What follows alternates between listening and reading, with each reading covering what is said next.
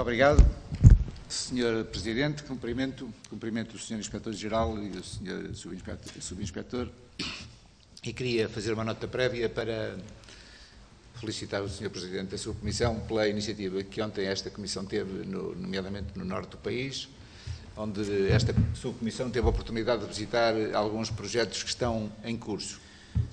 Foi uma, um dia, uma, uma jornada de um dia que nos permitiu ver no terreno aquilo que estamos hoje a falar aqui, ver concretamente a execução desses projetos.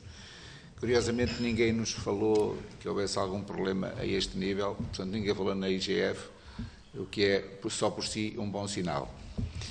Eh, o Sr. Inspetor falou há, há um bocadinho que, que, poderia ter algumas coisas a acrescentar sobre um novo modelo, sobre um modelo de gestão diferente. Gostaria de perceber melhor a que se refere, porque às vezes, quando falamos de fundos comunitários, eh, há sempre a ideia de que o, processo é sempre muito complexo e essa complexidade do processo às vezes leva a que na sua execução apareçam esses problemas que o Sr. Inspetor falou, nomeadamente aquilo que são as inelegibilidades, que são coisas diferentes de corrupção.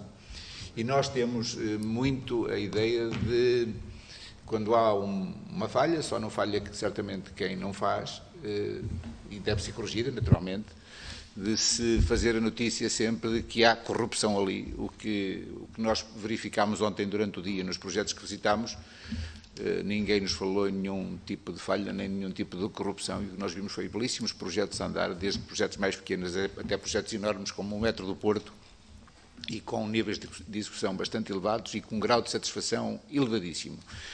Eu tenho uma, uma grande dúvida que gostaria de, de, de questionar.